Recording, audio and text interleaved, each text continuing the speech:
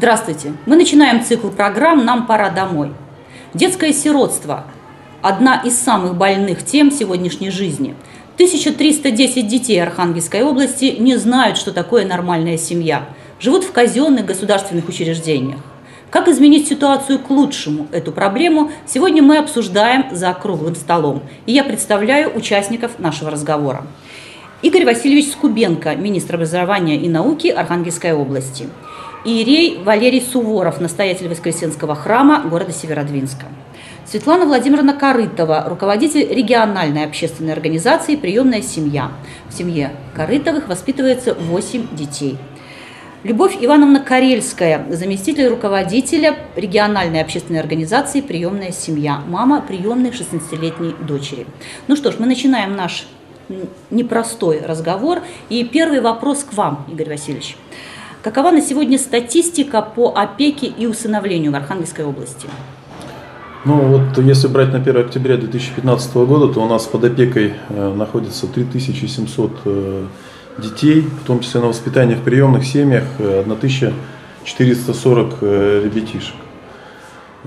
За последние годы, конечно, благодаря вот мероприятиям, которые, которые мы проводили, проводим, безусловно, по пропаганде семейных форм устройства, у нас э, численность э, э, детей-сирот, которые находятся в государственных учреждениях, сократилась с 2025, это в 2012 году, до 1310, как вы сами отметили.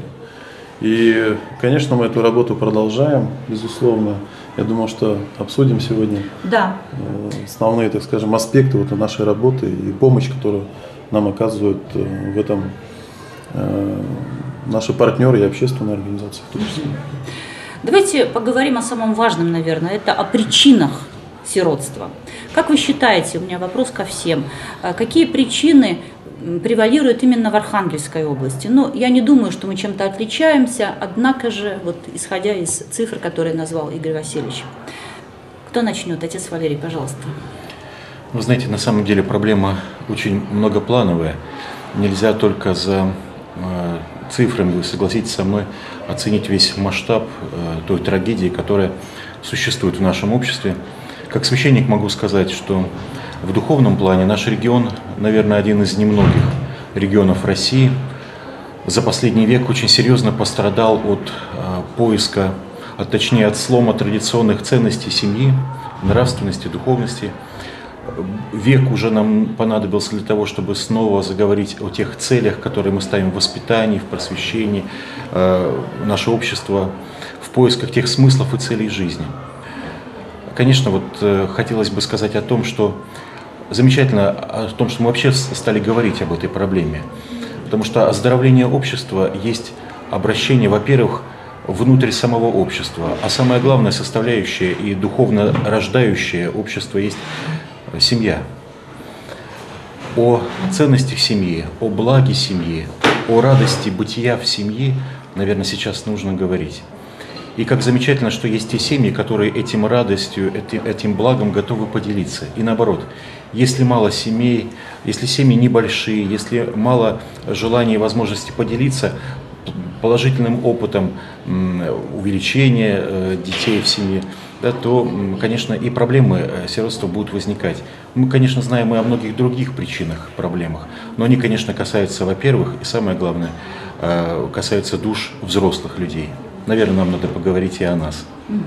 Спасибо большое, отец Валерий. Как вы считаете, Игорь Васильевич, причины ну, сиротства? Я добавлю, несмотря на то, что отец Валерий говорит о том, что цифры не главное, но вот если взглянуть даже на цифры, то у нас только 5% вот ребят, э, которые э, получили такой статус, э, являются ну, сиротами по, по определенному такому несчастью, когда потеряли реально полностью родителей, родителей да, да, полностью в результате каких-то трагедий. И 95% от всех сирот это сироты социальные, то есть э, я имею в виду по признакам социальным, это родители, при живых родителей, живых родителей, родители, которые лишены родительских прав. Это, ну извините, уже опустившиеся до такой степени люди, которые, у которых дети отобраны государством. э, которые не могут воспитываться в такой семье. И, конечно, это вот проблема, о которых сказал отец Валерий, это и алкоголизация общества, это и бич последнего времени, с которым мы так серьезно тоже пытаемся бороться, наркомания, ну и другие такие вот нехорошие вещи, которые вот сегодня происходят. Это основная все-таки причина. Это основная да? причина, это да, социальная. А скажите, пожалуйста, я вот обращаюсь к нашим э, мамам, у которых есть приемные дети, которые воспитывают уже не а, один год. Вы, когда знакомили жизненные истории тех детей, э, которых брали в семью, для вас это было принципиально? Вы знаете, не столь важно, наверное, потому что мы понимали, что этому ребенку на данный момент очень нужна помощь. И мы знали, на что шли, но нам важно знать то, с чем пришлось этому малышу столкнуться в самом при рождении, и дальше, какие его проблемы он ему пришлось преодолеть, потому что это очень важно для родителей, чтобы в дальнейшем помочь ему ну, правильно выбрать жизненный путь, утвердиться, чтобы он научился доверять людям, любить и верить. Поэтому mm-hmm. очень важно знать историю каждого ребенка, которого мы берем. А вы как, Любовь Ивановна? Нет, для меня было не важно. Я просто столкнулась с этим ребенком и поняла, что он мой. И все. И что там было, и что ждет впереди, это было для меня не важно. Это был просто уже мой, и все. Мы вернемся еще раз к этой цифре. 1310 детей, которые все-таки нуждаются в устройстве семьи. И вот на уровне правительства Архангельской области что делается, чтобы сократить эту цифру? Вы уже начали этот разговор. Ну, я отмечу только, что, конечно, это такой достаточно сложный контингент в плане устройства. Это взрослые ребята, это ребята с э, ограниченными возможностями здоровья, а где-то дети-инвалиды. Это братья и сестры, причем разного возраста. И, конечно, таких ребят ну, наиболее сложно сегодня устроить в семьи, хотя они этого очень хотят. И, конечно, вот последние там, два года мы такой хороший э, ориентир направили на информационную кампанию. Э, это и наличие нашего регионального соответствующего сайта. Э, мы провели в этом году первый форум, а вот как раз э, съезд, можно так даже назвать, приемных семей, где были площадки для общения, для ознакомления, может быть, так, с какими-то предложениями, с новыми, которые можно реализовать в плане внесения корректировок в областное законодательство или предложений на федеральный уровень. Э, да и вообще само общение приемных семей, оно всегда э, положительно, особенно когда есть такие семьи, которые вот представляют да. наши участники.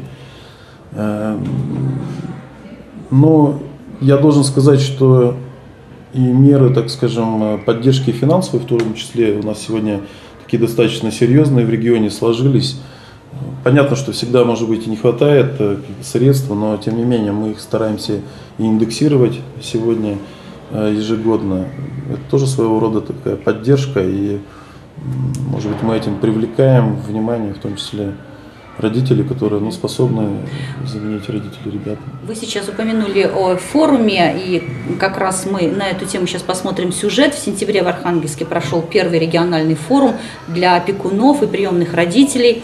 Я предлагаю посмотреть сюжет, а затем мы вернемся к нашему разговору. Вот внимание на экран. 3 и 4 сентября в Архангельске состоялся региональный форум приемных семей, первый в нашей области, и по замыслу организаторов это мероприятие должно стать традиционным. На сегодня в Поморье зафиксировано почти около 5000 детей-сирот и оставшихся без попечения родителей. Большая часть их, 3700, уже взяты под опеку или проживают в различных семьях, 300 представителей которых съехались на форум.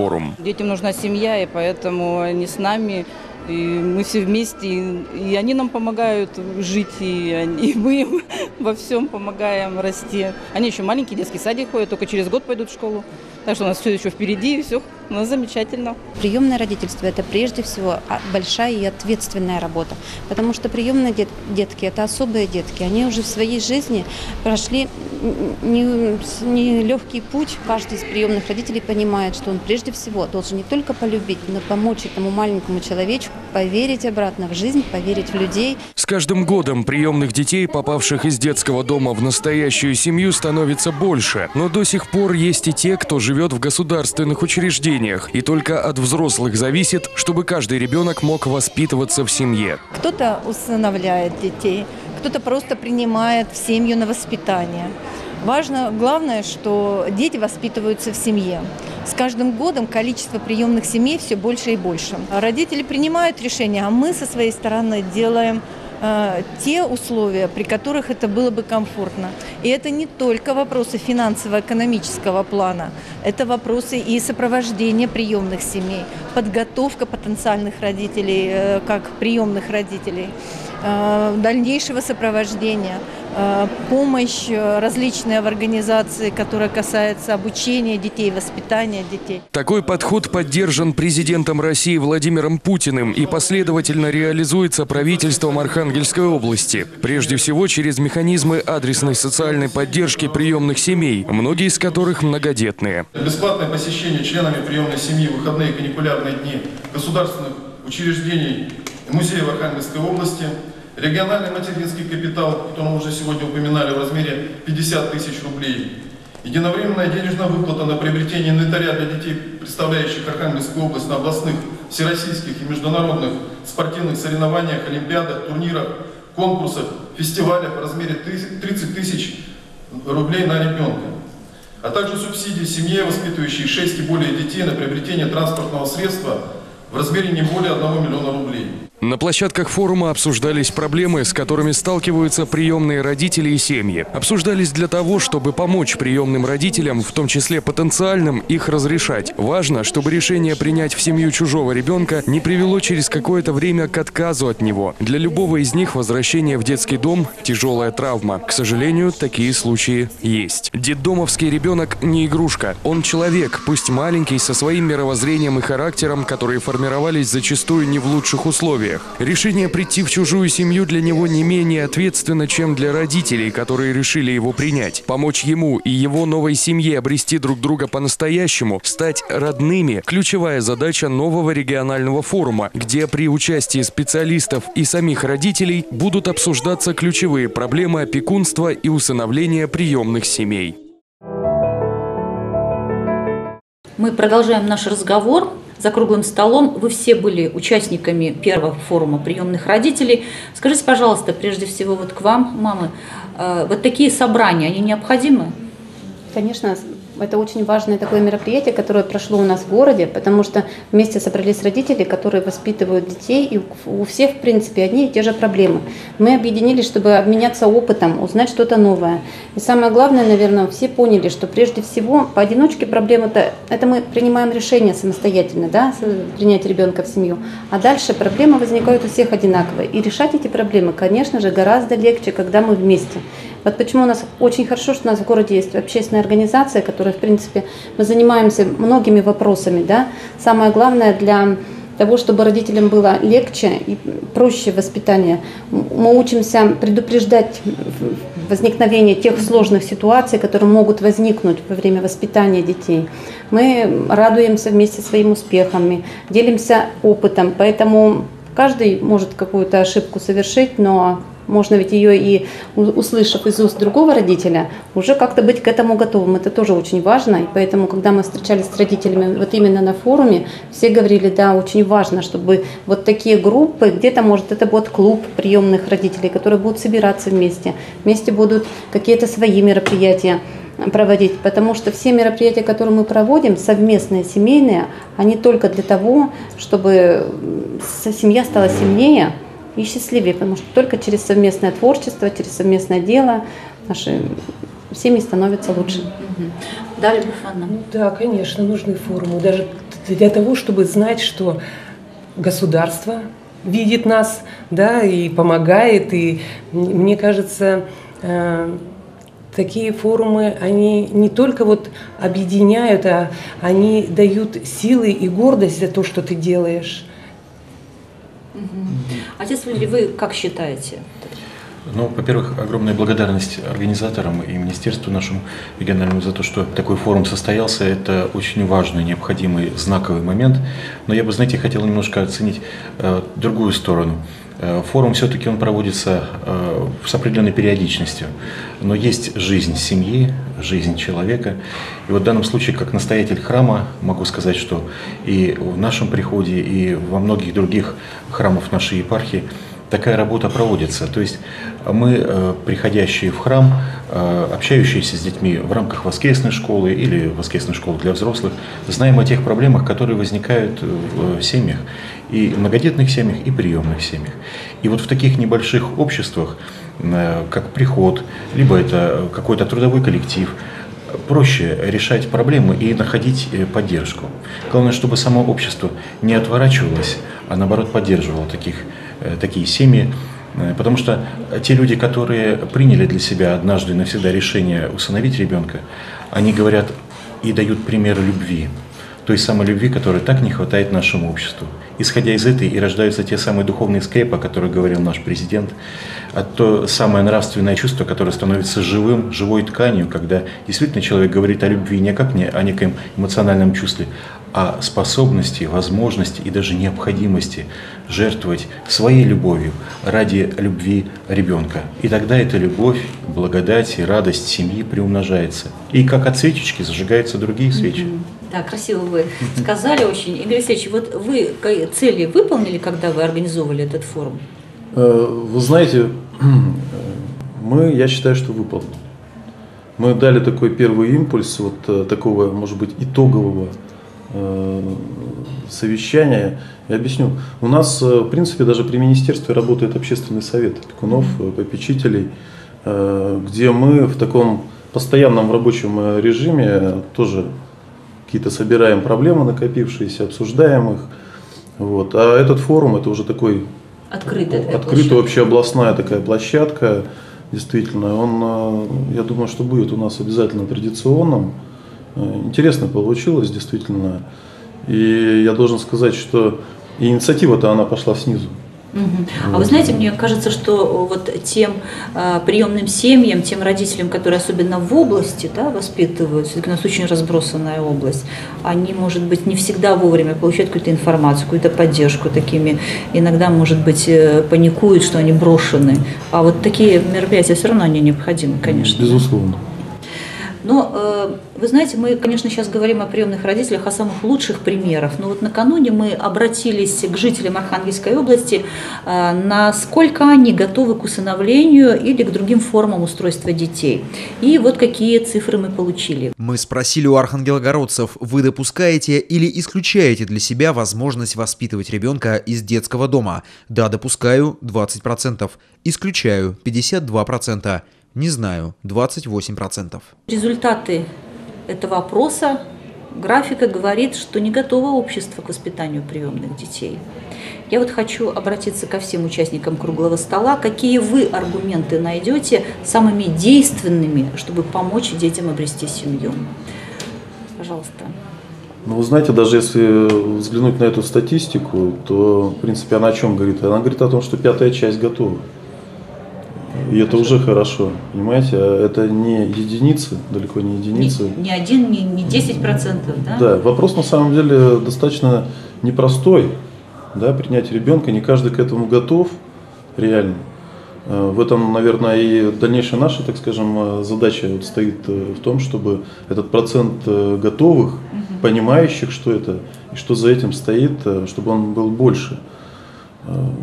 Поэтому я, считаю, вы, не считаю, видите, что, что вы не считаете, что ситуация безнадежна? Я не считаю, что ситуация безнадежна. И, что мы работаем в правильном направлении. И та динамика, которая у нас вот сегодня имеется, она говорит о том, что мы работаем в правильном направлении. И формы, которые мы проводим, э, они тоже не безрезультатны. Спасибо. Да, я готов тоже поддержать именно такую позицию, что вот эта статистика, она обозначает не некие совершившиеся факты, никогда не изменяющиеся, а наоборот ставит для нас очень четко задачу, для того, чтобы чаще и как можно более полно и эффективнее консолидироваться в решении э, вот этой проблемы. Ведь вот этот ответ «нет, не готовы» – это все-таки, наверное, знаете, не оценка того, что люди не желают э, принимать приемных детей, Согласна. а что они еще не задумывались, не поставили себя, не оценили той проблемы, не познакомились с самой сутью э, то, что происходит. А та информация, те общественные инициативы, которые будут проводиться, я думаю, и не только на региональном уровне, но и на уровне муниципальных как образований, они помогут все-таки э, изменить эту ситуацию. Все-таки вот как священник могу сказать, что по своему небольшому священническому опыту знаю, люди, которые принимают в семью детей, они словно Христа принимают.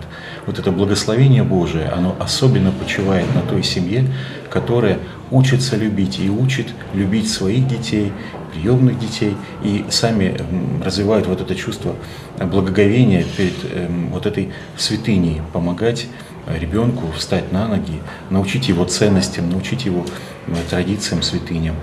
Поэтому э, церковь всегда молилась и будет молиться о тех людях, которые не жалеют себя, не думая о материальном, а, стрем, а стремятся все-таки о том, чтобы помочь и возогреть чувство любви как можно большем э, числе детских сердец. Да, пожалуйста. Я тоже считаю, что в Архангельске у нас приемных семей с каждым годом становится все больше и больше. Это, конечно, очень здорово. И то, что вот такие результаты получились, с одной стороны, хорошо, что люди не, сразу так не говорят, что да, я готов, потому что этот ответ должен быть настолько взвешенным, обдуманным, потому что каждый из нас понимает, что обратного пути у нас уже нет. И мы, если взяли ребеночка в семью, значит, это уже наша жизнь, наши совместные, причем жизни и планы на будущее. Поэтому все будет хорошо и много мероприятий. И радует то, что вот все мероприятия, которые проводятся в нашей общественной организации для приемных семей, просто приходят родители, простые семьи, они с нами участвуют в мероприятиях, они смотрят на нас. Проходит какое-то время, они тоже становятся приемными родителями. Это радует. Да, работу надо вести постоянно. Да, конечно. да, да. Это очень и тонкая, очень угу. такая, да, чувствительная тема. Ну, я думаю, что вот и даже этот опрос у кого-то в голове останется, и он задумается. Мне кажется, такие опросы нужно делать в обществе.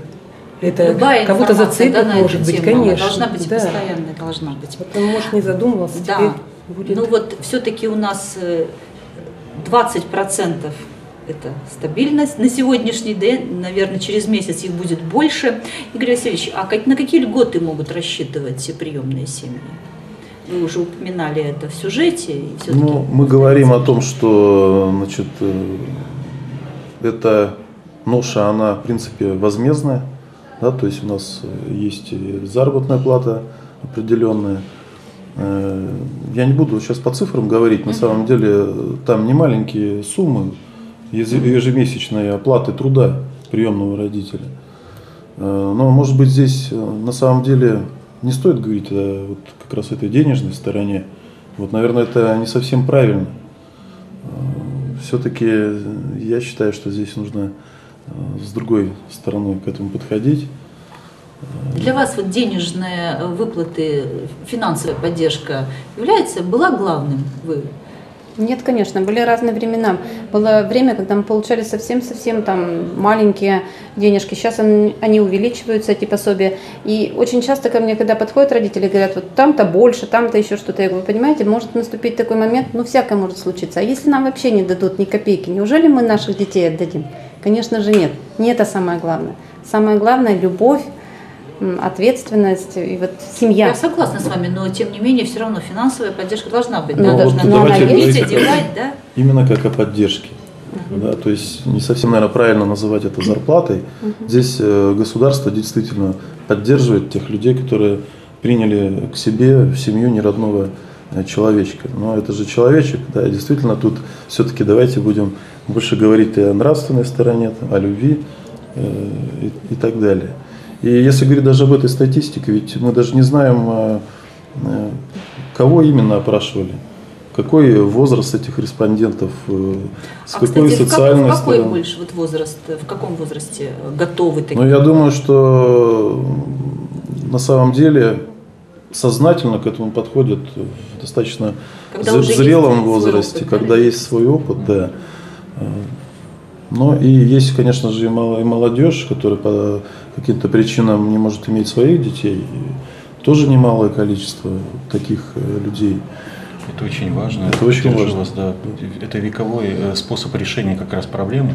Семьи, которые не имеют своих детей, как раз э, принять на воспитание ребенка, который в силу тех или иных причин остался без попечения родителей. Да, и вы знаете, говоря о материальном, о благополучии, всегда э, говорится э, и устами вот священнослужителей, лучший вклад в будущее семьи – это вклад в детей, в, э, в том числе приемных, потому что этот вклад, он никогда не подведет семью и будет лучшим вложением души и сил, потому что вот всегда большая семья, некогда э, поморская семья, это семья с богатой родословием, это семья, направленная в будущее. А именно такая семья, в которой есть место всем, и не только здоровым, но и болящим, может быть, и инвалидам, и тем э, детям, имеющим разные возрасты. Это самый лучший вклад в будущее. Все, кто взял детей из детского дома или школы-интерната, и те, кто, э, пусть даже это 20%, вот те, кто смотрит нас сегодня – не бойтесь, мы не оставим ни в коем случае. Сегодня, э, как мы уже рассказывали, мы стараемся и консолидировать их вместе всех. И все наши институты, которые созданы, общественные институты, они направлены на это. И я хочу поблагодарить присутствующих здесь прекрасных дам, мамочек, э, за то, что они не побоялись, за то, что они действительно сегодня Э, вырастили таких прекрасных представителей нашего общества, э, которых будет хорошее будущее, я уверен.